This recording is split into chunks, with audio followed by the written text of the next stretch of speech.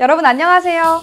여러분에게 혹시 코인에 투자할 기회가 생기신다면 여러분은 비트코인, 이더리움, 솔라나, XRP 그리고 그 외 수많은 알트코인 중에 어떤 것에 투자를 하시겠습니까? 힌트를 하나 드리자면요. 최근 1분기에 가장 인기 있던 블록체인 네트워크는요. 바로 솔라나였습니다. 기술적인 측면과 가격적인 측면 이 두 가지를 모두 충족하는 블록체인 대표 주자인 솔라나. 그래서 오늘 제가 솔라나의 최고 전략 책임가를 만나 이야기 나눠봤습니다. 오스틴 페데라 함께 만나보시죠.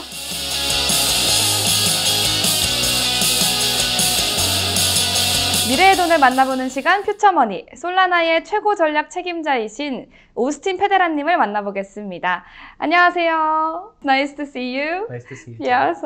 So could you briefly introduce yourself first? Sure. Uh, Yeah. I'm Austin Federa. I'm the Chief Strategy Officer at the Solana Foundation. So, so first question: um, The Solana ecosystem has been receiving significant attention lately, despite challenges such as the FTX saga, like that.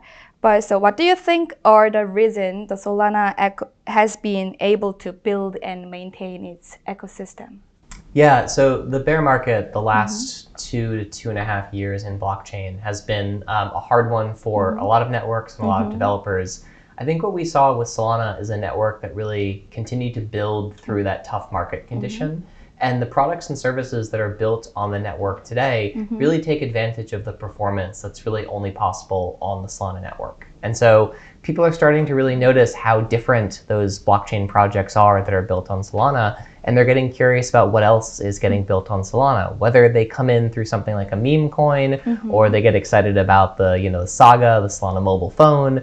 Um, there's a lot of different ways to get excited about what's going on in Solana today. And it's great to see people, uh, especially in Korea, paying attention to what's going on. Mhm. So as you mentioned about um, about meme coin and um, Saga mobile phone, Yeah. so I want to hear about um, NFT of on Solana blockchain because in expansion into the mobile ecosystem, I think that NFT plays a really important role in there. So do you have any um, NFT related plans or project? Yeah, so there's a whole bunch that's been going on mm-hmm. in the Solana NFT space. So that started in about 2021 with a project called Metaplex, mm-hmm. which really conceived of a new way to build NFTs. So mm-hmm. NFTs on Solana are built very different than other networks. They've got a lot more programmability that goes into them and a lot more capabilities. And they're also much, much, much less expensive to mm-hmm. mint. And so those performance characteristics have created entirely new classes of NFT projects. The average NFT on Solana, it sells for much less than it does on something like Ethereum, mm-hmm. but the total volume of all the NFT sales on a daily basis, it's Solana is often the most popular network for NFTs in terms of, of trading and buying mm-hmm. volume. Um, a lot of this is due to some fundamental technology changes. So, state compression is something that was shipped last year, um, which made it a thousand times cheaper to build NFTs on the network. And this is really the sort of price and performance you need if you're going to do things like take games and represent every item in a game as an NFT. Uh, if you're going to start bringing NFTs over to mobile and have that be an experience where people can buy and sell and trade yeah. them, uh, all of that really requires a fast and affordable network to make that possible. Okay, so Solana's NFT trading volume has surpassed um, Ethereum's with about like 365 million, like that, and so on, and also surpassed the market cap of XRP. So, I know. Um, how do you view the growing influence of Solana in NFT space and crypto in the industry? Yeah, you know, the NFT space in general on Solana, um, it's really robust at this point. There's some very interesting projects like Drip Haus, which are changing the entire distribution model from, you know, buying an NFT once to sort of subscribing to your favorite artists and creator channels where you can get new NFTs from them for free, uh, you know, every day or every week. And it's changing the entire business model for NFTs. And I think we've just really, we're at the very beginning of what this technology can do. Um, you know, profile pictures and stuff is fun, but there's a lot more that can be powered by this. You know, on the Solana network in general, um, you know, it, it, it's people realizing what's possible to build on the network. It has, you know, one of the largest developer communities in the crypto ecosystem, uh, and so all of those things really combine to to make it a network that people want to build on. And you know, value in crypto is always hard to sort of uh, say why one token moves up or why a token moves down. But one of the things I really pay attention to is where are the smartest developers building? And Solana has some of the smartest developers uh, in the crypto ecosystem. They build incredible products, and the growth and success of the network is largely a testament to them. So you mentioned about um, Drip Haus. So Yeah. I thought that that is really interesting because it's like the rival to some social media, uh, social net- network, right? Uh, these days. So I really thought that the idea is really interesting. Yeah, Drip Haus is a really interesting type of product because um, it is one of those things that's only possible when the network is mm-hmm. really high performant, mm-hmm. very cheap to send transactions, and has really high capacity. And this is sort of like the transition from like dial-up internet to mm-hmm. high-speed internet, right? You couldn't imagine YouTube being built on dial-up internet. It just wouldn't work. And so when you have these step function changes in technology, uh, it really changes what's possible to build on these technology platforms. Yeah. Okay. So next, um, I'm gonna move on to Saga mobile phone. Yeah. So the sale of Saga 2 has been really popular. So, and how did you come to combine mobile and blockchain? And could you provide any detailed explanation about Saga 2? Yeah, so the original thesis of the Saga project, um, which is done by Solana Mobile, um, which is a different organization than the foundation, but we work very closely with them. Um, the original vision of that was that you know mobile is most of our daily lives. If you mm-hmm. think about you know for work you might use a laptop or a desktop. For your personal life, you're largely using your mobile phone. Yeah. But today there's a duopoly. There's mm-hmm. Apple and there's Google, and they control 95% of the smartphone market outside of mm-hmm. China. And that is a really tough place for crypto because crypto can't pay the 30% a- taxes that Yeah, Apple charge or the 20% Yeah. that Google charges and you know even Samsung right has the the, the most successful Mm-hmm. third party app store in the world has had a really hard time getting adoption of users Mm-hmm. um, on their specific app store. Obviously, Samsung phones are incredibly popular. Um, but the idea here was actually to build an open source software stack. So there's nothing about the Saga that actually couldn't be picked up by other manufacturers, mm-hmm. but it's this open source software stack to make it really easy to have crypto securely on your mobile phone because we need to start integrating this into our daily lives.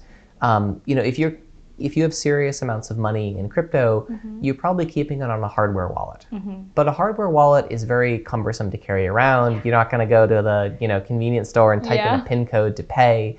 And so the idea was to use the secure element inside of these mobile phones, which is the same place your credit cards are stored and your face print and your thumbprint is stored, um, and to actually store cryptographic signatures for seed phrases in there. And on top of that, we built a decentralized application store, um, which is an alternative store to the Google Play Store um, that will allow crypto friendly applications on phones directly. And so the idea here is to bridge the gap between a software wallet, which is not secure, mm-hmm. and a hardware wallet, which is very secure, mm-hmm. with something in the middle. Mm-hmm. And that's the vision of, of crypto and mobile is that we need to start building these technologies in a way that goes mobile if we want people to be using crypto as part of their daily lives. Yeah, I agree with your idea that we need something in between hardware wallet and software wallet. Yeah. So, okay, so Oh, but you Yeah. were saying so um, the chapter two, the new, the Saga two, the Yeah. second device. any detail So- explanation? Yeah, so that recently they launched pre-orders for that this spring. There's over 140,000 pre-orders so far. Um, you know, Korea is one of the most popular Yeah. countries for uh, the original Saga and the Saga 2 as well. So the part of the goal there is to make a lower cost phone. The original Saga was $1,000, which is expensive, um, especially for you know developing countries. And so the goal of making a phone that was initially sold at $400 was really to make it accessible to a much broader base of users, whether that's in somewhere like India or Africa or South America, um, where also the use cases for crypto are more compelling. You know, the United States is a fairly stable country by global standards. Mm-hmm. Korea is a very stable country by global standards. the need for crypto here is a little less present than it is mm-hmm. in countries where you might not trust the government and you might not trust the mm-hmm. banking system with all of your money. And so to have that be accessible on a mobile phone platform, uh, I think is really transformative for a lot of the world. Okay, thank you. So, um, next question is about um, some network issue. Yeah. So, really, unfortunately, um, Solana has experienced some issues with network, but I know that you guys are really working on it. And so, what efforts are being made by Solana Foundation to like make up, overcome with this? Yeah, so network performance and reliability mm-hmm. really is the top priority of the mm-hmm. engineers that are building the mm-hmm. Solana Labs client and the, the other clients on the network. What I will say is that there's a trade off that was made, and this was a very intentional choice to say we're going to push the bounds of this technology, we're going to try and build the fastest blockchain possible. And, you know, in that paradigm, in that framework, um, sometimes that does involve some outages. Mm-hmm. And I think the, the thing here to sort of keep in mind is that Solana had to be a thousand times faster than its nearest competitor blockchain in order to sort of break into the market mm-hmm. and to mm-hmm. get people to pay attention to what was possible to build on the network. And so now there's a really big effort underway with the project called FireDancer, which is a new validator client for the Solana blockchain. It's targeting 100 times more performance than the current version of the network. And it will also add additional reliability and security by having a second validator client available. So if one, if there's a bug in one, the other one picks up where it left off. Um, it's really a big mm, uh, step forward for resiliency and reliability of the network. But you know, there is also, as I was saying, there, the trade-off there really has made Solana what it is today. The pace of innovation on the network is faster than any other network, and so the trade-off of some occasional downtime, um, you know, Solana would not be where it was today if it hadn't had that relentless drive to be shipping new code and trying new things and seeing what works. But now is really the time to refocus on reliability and performance. Yeah. Okay, so um, I'm gonna move on to um, meme, co- meme coin. Yeah. So meme coins on Solana has been um, such as Bonk or dogwifhat, like that, um, that had really a significant increase these days and um, driven by meme coin trend. So, what is your view on this popular popularity of meme coins? Yeah, you know, meme coins are, are a fun one. Um, at its heart, meme coins are people having fun on blockchain again. uh you know, it was a long bear market, and people are really excited to find new jokes, find new things to trade. Mm-hmm. But meme coins are also a proxy for community. I, mm-hmm. I think we sort of forget that Bitcoin started out as a meme coin. It's just an idea that mm-hmm. people believed in, and they believed in it enough that we now have this crazy world of blockchain powered by you know all these protocols, and we owe all of that to Bitcoin. Something like Bonk has really graduated from being a meme coin into maybe more of a community coin, something that now is persistent and will continue to exist. But these meme coins are also a really good stress test for the network, mm-hmm. right? They are they are a ton of demand and a ton of activity mm-hmm. for something that isn't actually that important. If something goes wrong with a meme coin, it's not a disaster in the same way it might be for a large financial institution uh-huh. looking to build on blockchain. Mm-hmm. So the meme coins are a really sort of new and important part of the uh-huh. Solana ecosystem, uh-huh. but they've been, you know, part of blockchain forever. If we go back to 2017, the CryptoKitties craze that, you know, took over Ethereum, mm-hmm. it got a lot of there was a lot of problems with Ethereum that were Yeah. found because of the CryptoKitties mm-hmm. uh, you know, frenzy. Yeah. But at the end of the day, it wasn't a high, it wasn't something that was existential for the future of the mm-hmm. network, and it was a really good stress test. The same way inscriptions on Bitcoin really have helped build a more robust network ahead of the Bitcoin L2s. So meme coins on Solana are, are really just a great expression of that. Okay, so um, as the uh, release of Saga Phone 2 and introduction for um, what was it, Fire Dancer. Yes. So, do you have any goal for this year? Like, is there any um, goal of Solana this year? Yeah, so you know, I work for the Solana Foundation, and our role is not to set direction for the network or people building on it. The network is really the sum of all these developers all around the world and what they choose to build on the network. So the work that we focus on at the foundation is common work that will benefit all builders on the network. It's sort of um, akin to you know building roads and infrastructure to make sure that people can build whatever they want to on top of the network. And so a lot of that focus has been on things like token extensions, mm-hmm. which are a new framework that makes it easier to build compliant um, financial products. Mm-hmm. It brings permissions to token levels and really allows people to build entirely new types of things on blockchain that mm-hmm. previously they had to build on private networks. And so that focus for us is is those common standards. It's improving network performance. It's improving network reliability, um, and working with all the core developers all around the world to sort of help help migrate that process.